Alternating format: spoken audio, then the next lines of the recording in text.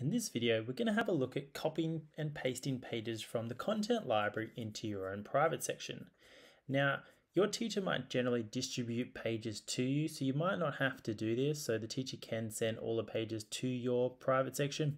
But if for some reason you got missed out, or maybe you turned up to school a bit late, and maybe you've missed out on that distribution process, you can always copy pages yourself manually from the teacher section content library into your own section.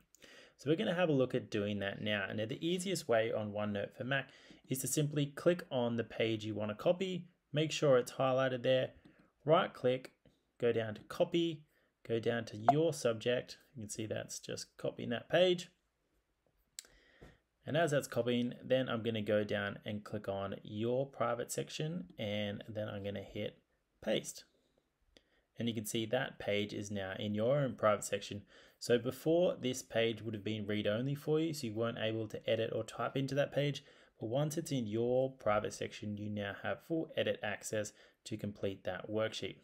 Another option, obviously on a Mac, another quick shortcut is clicking on the page, Command C, going down to your subject and Command V and that will also paste it. It's a little shortcut there. And that is copying and paste, pasting pages from the content library into your own private section.